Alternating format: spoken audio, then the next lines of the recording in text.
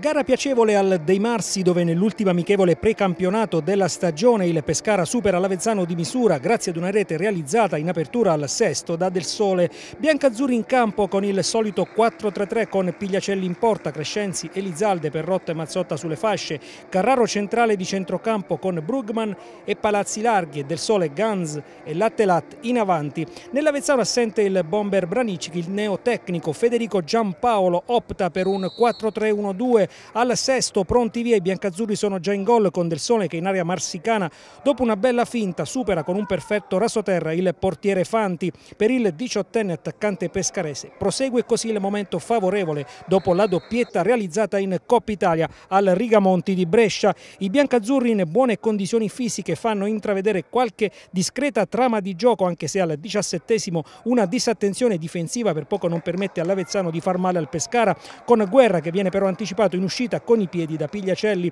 Alla mezz'ora ottima giocata di Brugman e pallone per Ganz che però sbaglia sotto rete. Il Gran Caldo condizione 22 in campo. Al 32esimo l'ex veronese ci riprova in girata con Fanti che alza in calcio d'angolo. Ancora Ganz sfortunato protagonista al 37esimo quando sul lancio illuminante di Del Sole trova ancora la respinta del portiere avezzanese. Nella ripresa Zeman cambia 9 undicesimi di squadra con Capone che sale in cattedra al quindicesimo si vede proprio l'ex atalantino che in area tira sopra la traversa dopo un perfetto servizio di Pettinari. Il Pescara della ripresa sembra più squadra con la manovra più fluida. I biancazzurri si lasciano preferire. Da segnalare al ventottesimo il doppio passo con conclusione di Pettinari su cui salva Lombardi. Dalla parte opposta si fa apprezzare invece Acaturlo che dopo una bella giocata alza però troppo la mira. Al 43esimo Pettinari fallisce davanti a Lombardi il 2-0 prima del triplice fischio finale di Fiore di Cassino.